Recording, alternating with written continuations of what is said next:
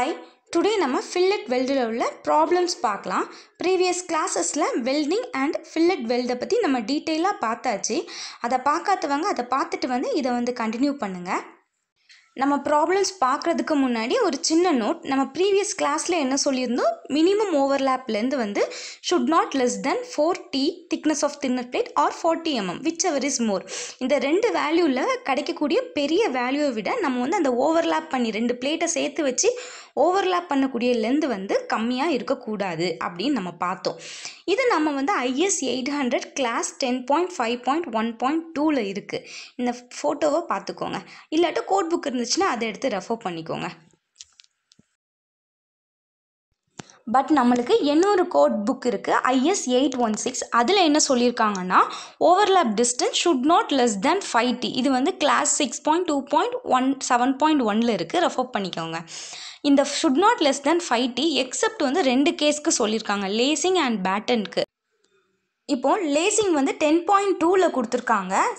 அது லேசிங்கோட overlap should not less than four into thickness of bar or four into main மெம்பரோட thickness இந்த ரெண்டுலேயும் உள்ள minimum வேல்யூவை விட இந்த ஓவர்லேப் வந்து கம்மியாக இருக்கவே கூடாது. ஓகேவா தென் பேட்டனுக்கு டென் பாயிண்ட் த்ரீல கொடுத்துருக்காங்க. அதோட overlap should not less than four into டீயாக இருக்கணும். திக்னஸ் ஆஃப் தின்னர் பிளேட்டாக இருக்கணும். நீங்கள் இந்த ஃபோட்டோ பார்த்துக்கோங்க. இந்த ஃபைட்டிங்கிற வேல்யூவும் சம் கொஸ்டின்ஸில் கேட்டிருக்காங்க. தென் நம்மளுக்கு நிறைய கொஸ்டினில் என்ன பண்ணுறாங்க ஐஎஸ் எயிட் ஹண்ட்ரட்னு மென்ஷன் பண்ணிடுறாங்க. அப்போ நம்ம வந்து ஃபோர்ட்டி ஆர் ஃபார்ட்டி எம்எம் நம்ம கன்சிடர் பண்ணி ப்ராப்ளம் ப்ரொசீட் பண்ணால் போதும். தென் நம்ம ஒரு கொஸ்டின் பார்க்கலாம். இதில் கிவன் டேட்டா அண்ட் எதெல்லாம் ஃபைன் பண்ணணும்னு எழுதியிருக்கேன். ஃபஸ்ட்டு வந்து ஃபேக்டர்ட் லோட் வந்து two fifty kilo newton kilo நியூட்டனில் கொடுத்துருக்காங்க. ஈல்டு ஸ்ட்ரென்த் வந்து two fifty mega pascal ultimate tensile strength of weld வந்து ஃபோர் டென் ஒர்க் ஷாப் வெல்டுன்னு கொடுத்துருக்காங்க. ஷாப் வெல்டுனா நம்மளுக்கு ஒன் பாயிண்ட் டூ ஃபைவ் இது இந்த கொஸ்டினில் மென்ஷன் பண்ணியிருக்காங்க. சம்டைம்ஸ் கொடுக்காட்டும் ஷாப் வெல்டா ஃபீல்டு வெல்டாங்கிறத பொறுத்து நம்ம வேல்யூஸ் எடுத்துக்கணும். வித் ஆஃப் பிளேட் வந்து ஹண்ட்ரட் எம்எம்னு சொல்லியிருக்காங்க.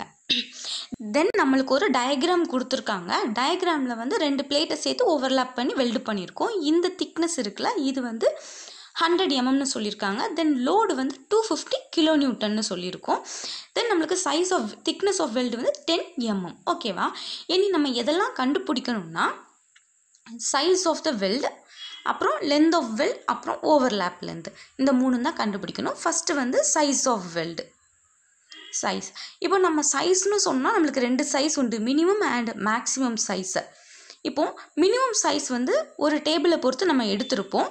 S min equal to thickness of plate எவ்வளோ இருக்குது ஜீரோ டு டென்னாக இருக்குது அப்போ ஜீரோ டு டென்னாக இருந்துச்சுன்னா இந்த டேபிள் பாருங்கள் இந்த டேபிள் பார்த்தீங்கன்னா உங்களுக்கு தெரியும். த்ரீ எம்எம்மாக mm தான் இருக்கும்.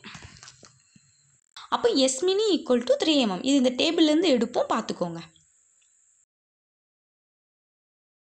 தென் மேக்ஸிமம் சைஸ் வந்து எந்த மாதிரி பட்ட ஷேப்பில் உள்ள மெம்பரை நம்ம வெல்ட் அடிக்கோங்கிறத பொறுத்து தான் இருக்குது இப்போ இந்த டயக்ராம் பாருங்கள் ஸ்கொயர் எட்ஜாக இருக்குது ஸ்கொயர் எட்ஜில் இந்த மாதிரி வெல்ட் பண்ணியிருக்கோம் அப்படின்னா டி மைனஸ் ஒன் பாயிண்ட் ஃபைவாக இருக்கும். தென் நம்மளுக்கு ஆங்குலர் எண்டாக இருந்துச்சுன்னா நம்ம வந்து இந்த மாதிரி தான் வெல்டு பண்ணுவோம். இப்படி நம்ம வெல்டு பண்ணியிருந்தோம்னா த்ரீ பை ஃபோர்த் ஆஃப் டீயாக இருக்கும். இப்போ நம்மளுக்கு ஸ்கொயர் எண்டு தான். அதனால நம்ம maximum size of weld equal to t minus one point ஃபைவ்னு எடுத்திருக்கோம். நம்மளுக்கு thickness of plate ten mm then ten minus one point five அப்போ நம்மளுக்கு வேல்யூ வந்து எயிட் பாயிண்ட் ஃபைவ்னு வரும். இப்போ நீங்கள் பார்த்தீங்கன்னா நம்மளுக்கு சைஸ் ஆஃப் வெல்டு மினிமமாக த்ரீ எம்எம்மும் மேக்ஸிமமாக எயிட் பாயிண்ட் ஃபைவ் வரையும் இருக்கலாம். இதுக்கு இன்டர்மீடியட்லேருந்து ஒரு வேல்யூ நீங்கள் செலக்ட் பண்ணி நம்ம சைஸ் ஆஃப் வெல்டுக்கு நம்ம எடுத்துக்கலாம். ஓகேவா நான் இப்போ size of weld equal to six எம்எம்னு எடுத்திருக்கேன். நீங்கள் டிஎன்பிஎஸ்சி எக்ஸாம்லாம் பார்த்தீங்கன்னா இந்த கொஸ்டின்ஸ் எல்லாமே தனித்தனியாக நம்மளுக்கு செப்பரேட்டாக கொஸ்டின் கேட்பாங்க. நான் எல்லாம் சேர்த்து ஒரே கொஸ்டினாக வச்சுருக்கேன். ஓகேவா தென் நம்ம நெக்ஸ்ட் என்ன பார்க்க போகிறோன்னா லென்த் ஆஃப் வெல்டு இதுவுமே தனியாக ஒரு கொஸ்டினாக தான் கேட்பாங்க. நம்மளுக்கு டிஆர்பி டூ மார்க்கு தென் ஐஏஎஸ்க்குலாம் இந்த மாதிரி கொஸ்டின்ஸ் கேட்பாங்க. லென்த் ஆஃப் வெல்டு கண்டுபிடிக்க சொல்லியிருக்காங்க.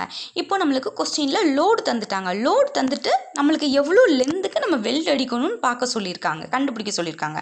இப்போ இந்த பிங்க் ஷே ஷேடட் ரீஜன் பாருங்கள் இதில் ஹண்ட்ரட் எம்எம் இந்த வித்து மட்டும்தான் நம்மளுக்கு தெரிஞ்ச வேல்யூ ரிமைனிங் இந்த ஓவர்லேப் டிஸ்டன்ஸை நம்ம தான் கண்டுபிடிக்கணும். நம்மளுக்கு டூ ஃபிஃப்டி கிலோமீட்டர் லோடு கொடுத்துட்டாங்க.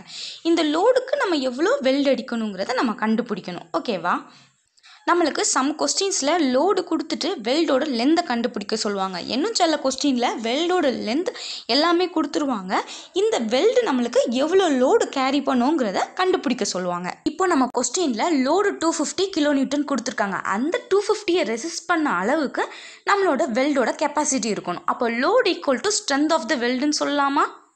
வெல் லோடுங்கிறது நம்மளுக்கு two fifty kilo newton then strength of the வெல்டை நம்ம என்ன சொல்லலாம்? ஸ்ட்ரெஸ் இன்டூ ஸ்ட்ரெஸ் இன்டூ அதோட ஏரியா ஸ்ட்ரெஸ் எந்த இடத்துல மினிமமாக இருக்குமோ அந்த ஏரியாவை எடுத்துக்கணும். நம்ம ஃபில்லட் வெல்டில் நம்ம ஷியரை தான் நம்ம கிரிட்டிக்கல் ஸ்ட்ரெஸ்ன்னு சொல்லுவோம்.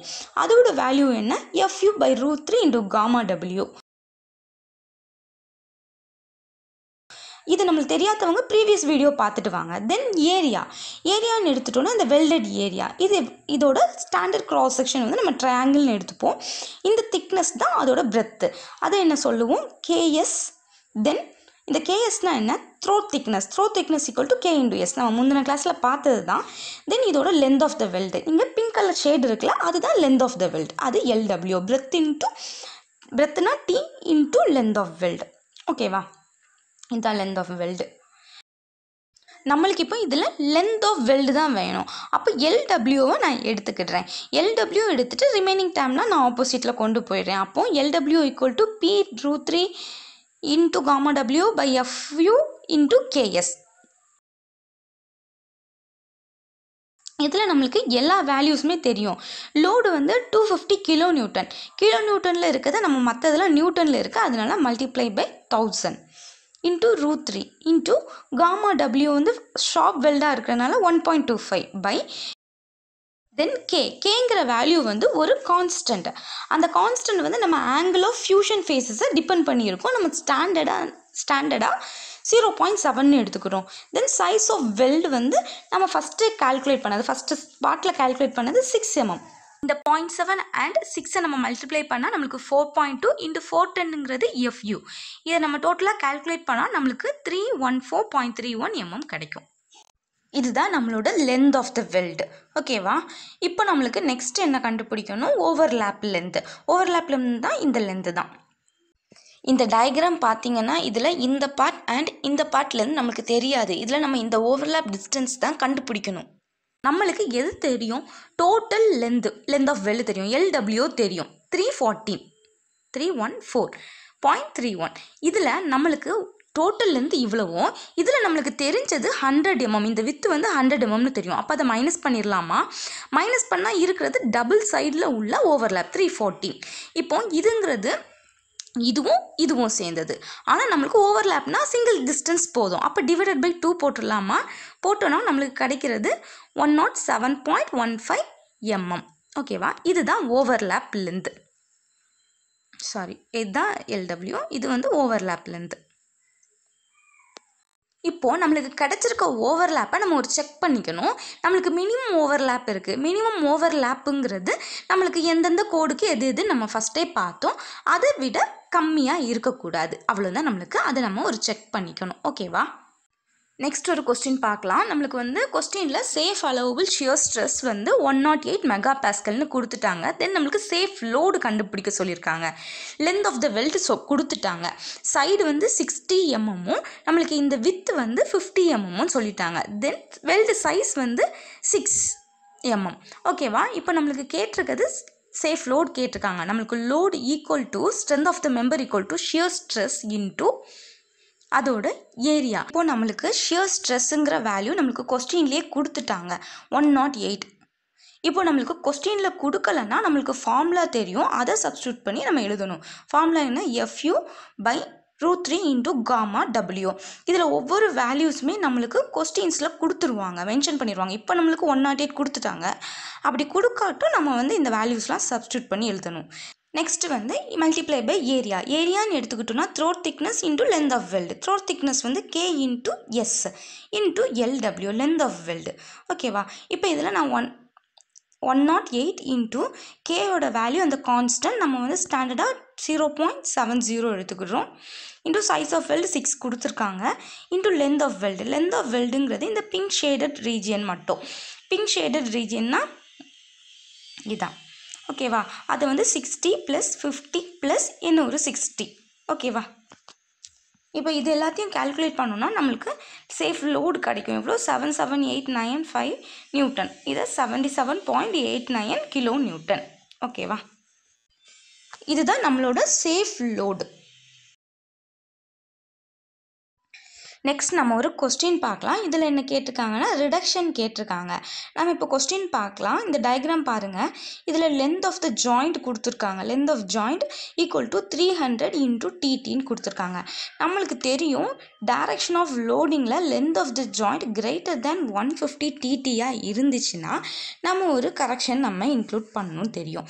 அதுதான் எவ்வளோ கரெக்ஷன் நம்ம போட்டிருக்கோம். அதுலேருந்து ஸ்ட்ரெஸ் எவ்வளோ ரெடியூஸ் ஆகிருக்குங்கிறத நம்மளுக்கு கேட்டிருக்காங்க கொஸ்டினில் இப்போ நம்மளுக்கு பீட்டா எல்டபிள்யூக்கு ஃபார்முலா தெரியும். Beta W equal to one point two into point two LJ by sorry one point two minus point two LJ by one fifty TT ஓகேவா இதில் நம்மளுக்கு தெரிஞ்சது என்ன? லென்த் ஆஃப் ஜாயிண்ட் கொடுத்துட்டாங்க. த்ரீ ஹண்ட்ரட் டிடி அப்போ அதை இதில் சப்ஸ்டியூட் பண்ணிடலாமா one point two minus zero point two into three hundred இந்த எல்ஜிக்கு பதிலாக த்ரீ ஹண்ட்ரட் டிடி சப்ஸ்டியூட் பண்ணுறோம் three hundred TT by one fifty TT throat thickness இப்போ இந்த டிடியை கேன்சல் பண்ணிடலாமா? அப்படி இதை சப்ஸ்டியூட் பண்ணால் நமக்கு வந்து ஜீரோ பாயிண்ட் எயிட் ஆன்சர் வருது.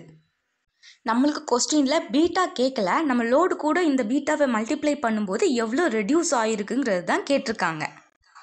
நம்மளுக்கு தெரியும் strength load P equal to shear stress into அதோட ஷேரிங் ஏரியான்னு எடுத்துப்போம். நம்மளுக்கு இப்போ பி இந்த condition LJ less greater than one ஃபிஃப்டியாக இருந்துச்சுன்னா பீட்டாங்கிறது மல்டிப்ளை பண்ணிப்போம் இந்த டேர்ம் கூட. ஓகேவா இப்போ சம்டைம்ஸ் நம்மளுக்கு கொஸ்டினில் லெஸ் தேன் ஒன் ஃபிஃப்டி டீயாக இருந்துச்சுன்னு வச்சுக்கோங்க.